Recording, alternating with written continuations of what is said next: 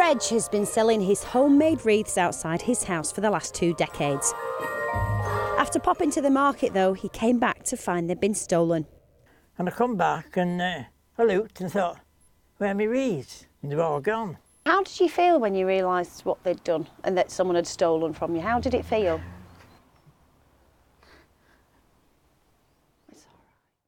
It's easy to see how devastated he was. But then a local posted what had happened on social media and it went viral. Suddenly, demand for his wreaths shot through the roof.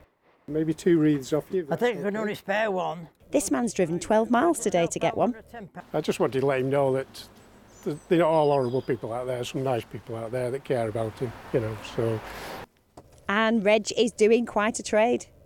And how's business doing now? And that, now, now it's bloody booming. I'm so glad. I'm so glad. Yeah. And you've had a lot of nice people coming to see That's you. it, yeah, yeah, yeah. Because they aren't all bad people, are they? They certainly aren't. And what he doesn't know is that Steph here has organised a Just Giving fundraising page for him, and people from all around the world are oh, donating. We've actually managed to raise £1,200. More tears from Reg, but this time happy ones.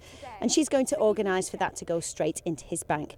He's going to have a better Christmas than he could have imagined, especially now he's got an assistant. Look, mine's a bit wonky. You're not going to give me a job at this rate, are you? No. Perhaps another 12 months. Ruth Liptrot, 5 News.